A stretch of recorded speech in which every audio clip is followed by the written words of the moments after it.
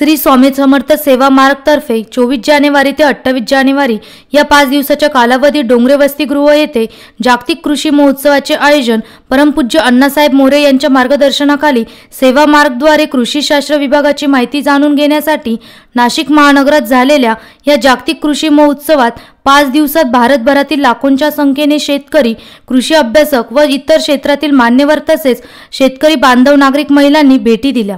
या प्रदर्शनाचा समारोप केंद्रीय मंत्री भारती पवार यांच्या उपस्थितीत मोठ्या उत्साहात संपन्न झाला.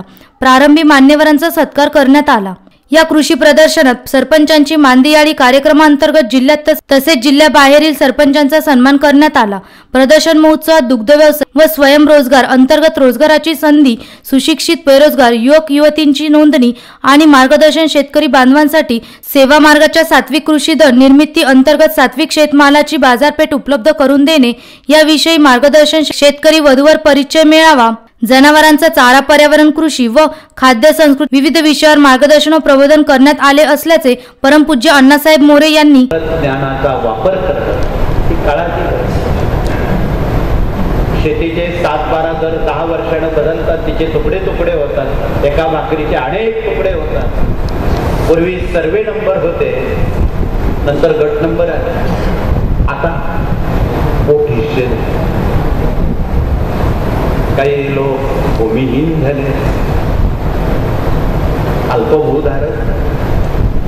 अशा कितीतरी समस्या शेती शास्त्रातून आपणाला वाचायला सर्व करा पण जमीन विकू नका. हाही संदेश आपणाला यातून जनतेपर्यंत पोचवायचा आहे. शेती ही आपली आई आहे. आम्ही काल सांगितलं की ते मातीची पूजा करताना ही काळी ही आपली सर्वांची आई भूतपूर्व प्रथम राष्ट्रपती या देशाचे बाबू राजेंद्र प्रसादजी यांचा गुणगौरव अमेरिकेच्या राष्ट्रात चक्रणी करताना बाबू रोज मातीची पूजा करायचे. सकाळी सात वाजता देवांची पूजा करण्याआधी बाबू मातीची पूजा अध्यक्षाने बघितलं हे बाबू मातीची पूजा करतात? म्हणून त्यांनी विचारलं बाबूजी तुम्ही मातीची पूजा करतात? होय म्हणे. का करतात पूजा? त्याने मार्मिक उत्तर दिलं सर्वजण आपण मानव आईच्या उदरात जन्म घेतो. लालन पालन संगोपनाचा कालावधी आई आपल्या दुधावर करते. तदनंतर ही काळी आई आपणाला धान्य देते भाजीपाला देते फळं देते मग ही आई नाही का असं म्हणता क्षणी कान पकडून तत्कालीन अध्यक्षांनी त्या मातेला एकवीस वेळा दंडवट घातला आणि गौरव उद्गार राष्ट्रपतींचे काढताना सांगितलं की असा शेतकरी राष्ट्रपती जगात होणे नाही. भारताची ही संस्कृती आहे भारताची ही परंपरा आहे त्या देशात आपण राहत आहोत. म्हणून या देशात राहणारे सर्वच मातीशी एकनिष्ठ असणं जरुरीचं आहे. यापेक्षा अधिक बोलणं उचित नाही. परंतु उद्याच्या वाटचालीसाठी आणि हे नववर्ष आपणा सर्वांना निरोगी जीवन जगता यावं. निरोगी अन्न बनवता यावं.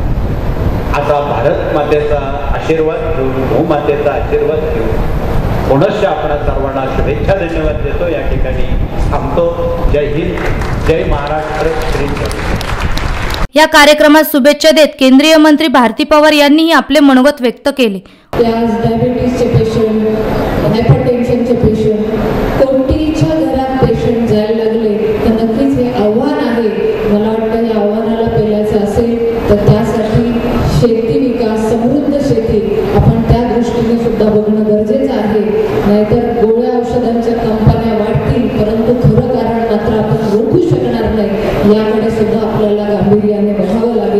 आज हे कृषी प्रदर्शन मोठ्या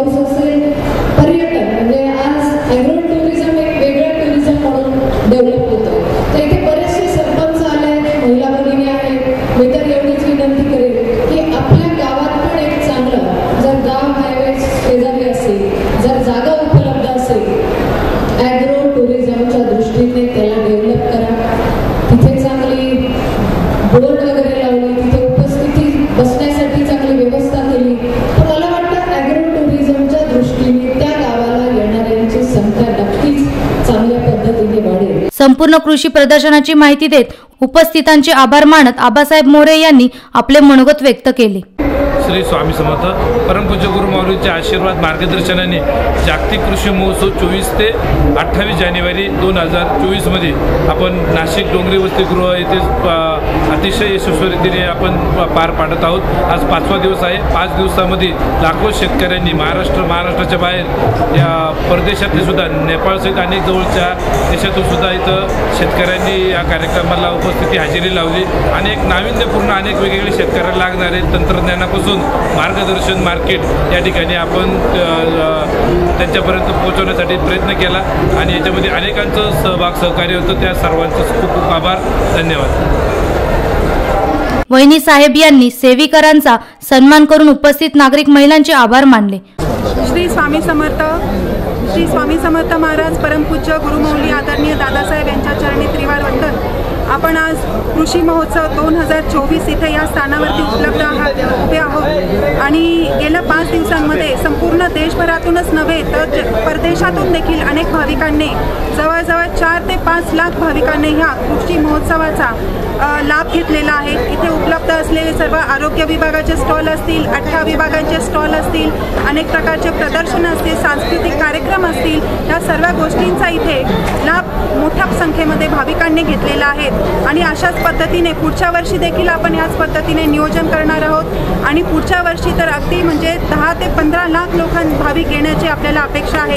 त्यात अनुषंगाने आपण प्रयत्न कर देखील करणार आहोत. श्री स्वामी समर्थ. या कृषी प्रदर्शनास विविध मान्यवरांनी या कृषी प्रदर्शनास भेट देत मार्गदर्शन केले. तसेच जिल्ह्यातील आणि जिल्ह्याबाहेरील अनेक शेतकरी बांधवांनी शेतीविषयक अनेक विषयांचे मार्गदर्शन जाणून घेतले.